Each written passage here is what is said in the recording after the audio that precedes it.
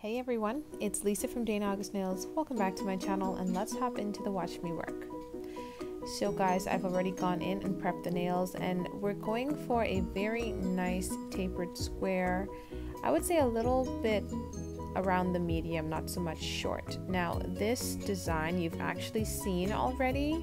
Um, I did it on two nails of a complete set. I'll put the picture up here, but today we're just focusing on doing the sort of quartz marbling on all the nails this time around. So I've prepped with Mia Secret Dehydrator and Extra Bond, and I'm going in with Mia Secret Multi Balance Natural as my clear coat in between pigmented acrylics and the nail.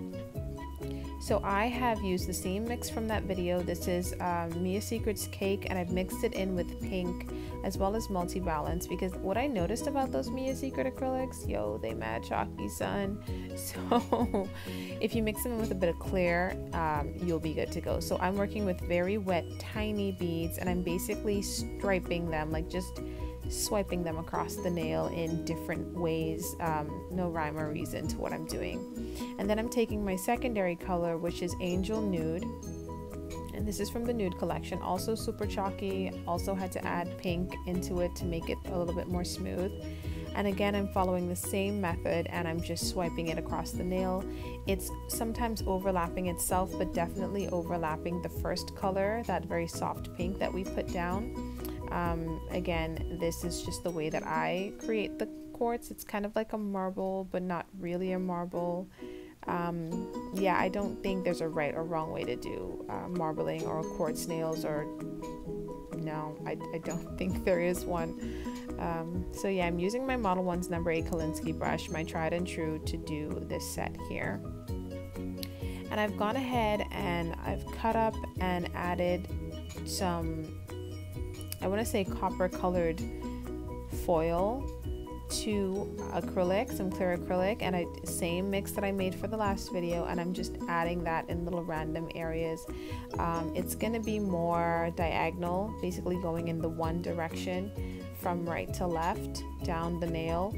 Um, and parts of it break apart and I actually like that that happens so I just sort of let it do its thing and I do this on all of the nails of course um, I really wanted the previous client that got the you know the initial set to come in and do this, but I was really glad that um, this client was just like, yeah, I want that, but I want it on all the nails just from a post.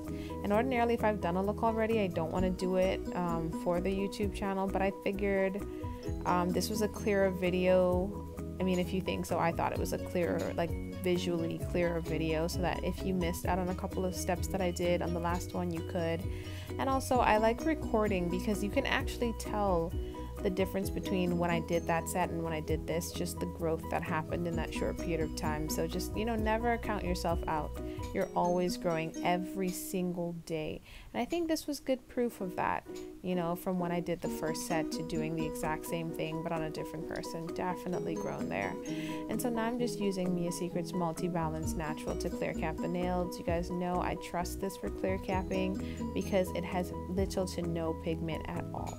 And I will clear cap all of the nails and then I have put in a little bit of filing um, just because I don't often do that and you know you kind of want to I, I want to see how that's changed as well so I'm going to refine the shape going down the side walls filing actually from the underside and then bringing it up and then into the contouring motion um, and I do that on all both sides. What I do on one side, I do on the other, and then I go at the cuticle area and I continue to contour. Then I switch my file and then I start going in a um, vertical motion up and down the nail, and that's to just make sure that the surface of the nail is smooth. And I'm really um, you know, keen about going over those same steps back and forth, going from reshaping to cuticle, sorry, reshaping to contouring to cuticle. So, and you know what? I've got a bit of a routine going these days, so I'm actually really, really proud of it um, proud that I've been able to do that. So while I have her nails in my hand like this, I don't attack the free edge because I want to do the free edge when I flip her hand over and look at it from her perspective because to me, that's the only time that you're actually going to be able to get the nails straight. Uh, what I actually end up doing while I'm looking at it from her perspective is I do a bit of contouring on the nails still as you can see. So yeah, I see people filing their free edge while they're like looking at it from their perspective, but I think you'll end up over filing the nail because once you flip it over, you still got to go back and file it. And then if you filed the chunk away when you were looking at it from your angle, you're gonna have some wonky nails. So I just leave the free edge for when I'm looking at it from a perspective. And guys, it's top coating time. I'm using my Gershon's top coat. I need to get better top coats. I'm not even gonna lie, but I'm using the Gershon top coat and I do cure this for a full 60 seconds apply cuticle oil and take pictures and photos and that's the end of the video guys. So if you haven't liked already please do. Consider subscribing.